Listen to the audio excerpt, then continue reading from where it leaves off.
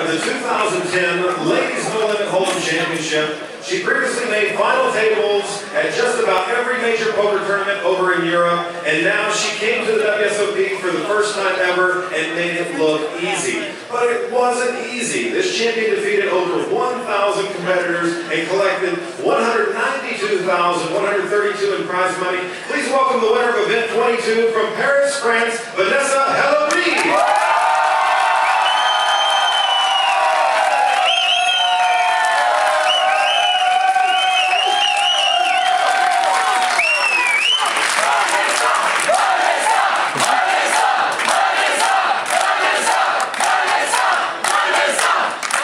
Now, Vanessa, it's great to see you here and share this very special moment with you. You have made France proud by becoming only the fifth French gold bracelet winner in WSOP history. It's a pleasure and honor to present you with your very first World Series of Poker bracelet. Congratulations.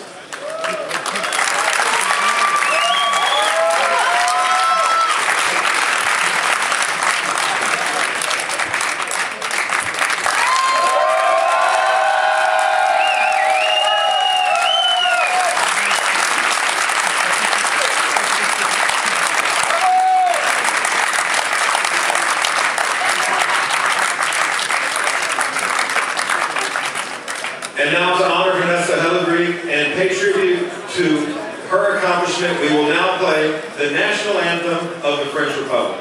Yes.